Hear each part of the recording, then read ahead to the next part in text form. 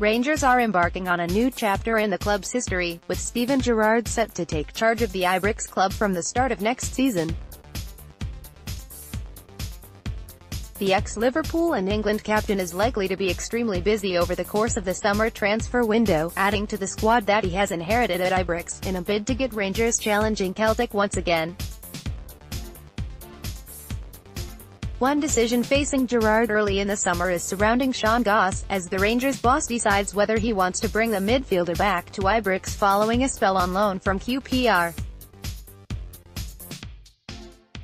Goss is the latest feature of our FLW Spotlight, where we take a look at his spell in Scotland. The former Manchester United trainee featured in 13 league fixtures for Rangers, starting on 10 occasions.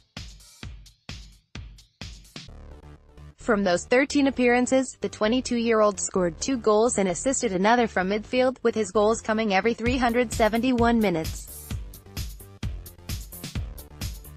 In addition to that, Goss also picked up four yellow cards during his time at Ibrox. The verdict it was a brief spell at Ibrox for Goss, who still has a lot to work on if he is to reach his potential. Rangers should make a move to re-sign him, as working under Gerrard next season could be huge for the midfielder's development. Gerrard has all the attributes to be an exceptional manager and the wisdom he can pass to players like Goss would be invaluable. At 22, the midfielder has his best ahead and Rangers shouldn't view his signing as a risk, as the QPR man has all the potential to develop into a fine player under Gerrard.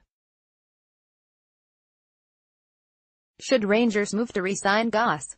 Let us know your thoughts.